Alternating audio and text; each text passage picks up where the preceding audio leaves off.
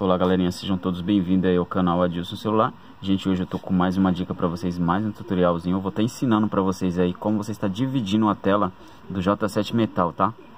Se você, de repente você tá no YouTube, você quer dar uma olhada no seu WhatsApp Se você quer entrar em um outro aplica aplicativo aí E você não quer sair do, do YouTube Eu vou estar tá ensinando para você aí como você fazer esse... É, esse macete aí, tá? É bem fácil, tá? Não tem segredo nenhum. Eu vou estar tá mostrando pra vocês aqui, é o seguinte, ó. Tá vendo essa, essa, esse botão aqui, ó? Com esse botãozinho aqui, você vai...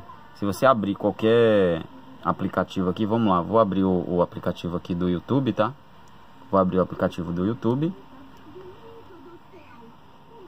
Prontinho, já entrei no YouTube aqui. Eu vou apertar aqui o botão do meio, vou sair do, do, do aplicativo, tá? E vou apertar aqui nesse quadradinho, tá? Apertando nele aqui, você vai ter o, o aplicativo do YouTube na, na área das tarefas aqui, tá? Onde você fecha as tarefas, onde você limpa aqui as tarefas aí.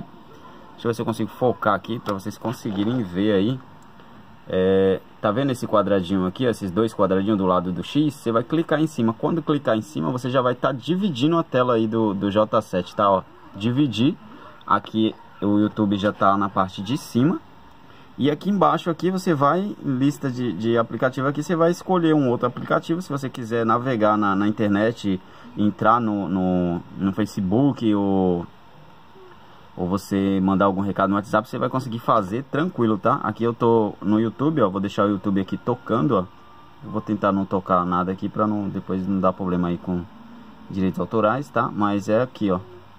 Entrou no YouTube você vai conseguir ouvir música aqui no YouTube, tá? E você vai conseguir fazer outras coisas aqui embaixo, aqui, tá vendo? Beleza, galerinha? Essa é a, é dica, é o tutorial que eu vou deixar pra vocês.